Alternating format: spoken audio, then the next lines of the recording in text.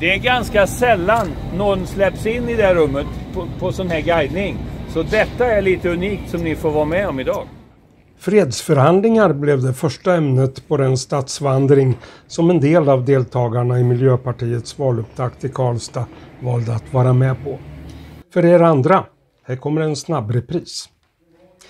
1905 skrevs protokollet till unionsupplösningen på i Frimurarhuset vid torget i Karlstad.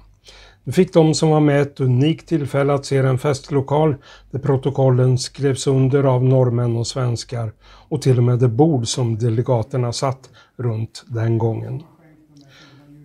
Så fick vi lära oss mer om Gustaf Fröding av Miljöpartiets första namn på den värmländska riksdagslistan, Per-Inge Lidén. Mitt blod är i oro, jag tror jag är kär. I vem, ack jag allt som andas. Jag ville att himlens och jordens allt låg tätt vid mitt hjärta i flickgestalt. På andra sidan en av Klarälvens grenar genom Karlstad mötte vi Selma Lagerlöf, Selma Ciceron, Cecilia Lindström, MP Värmlands språkrör. Hon har också en period när hon reser mycket. Hon reser med sitt resesällskap Sofie Elkan. Eh, spännande dam från Göteborg som jag skulle kunna prata om jättelänge men det får jag inte. Sola i Karlstad skiner jämt säger vi. Den här dagen regnade det ju men det vet dagens vandrare att Sola i Karlstad hette Eva-Lisa Holtz.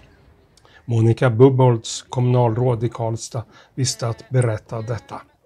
Jag drev värdshus här i Karlstad på 1700-talet.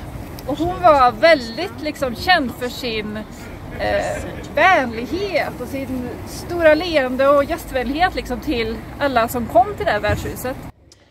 Jag tror att det var biskop J.A. Eklund som en gång sa att hälften av värmlänningarna var poeter, den andra hälften mytomaner. Alltså till sist ger vi plats för Nils Ferlin, ytterligare en stor värmländsk poet, här presenterad av MP Karlstads ena språkrör Robert Halvarsson. Du har tappat ditt ord och din papperslapp. Du barfota barn i världen.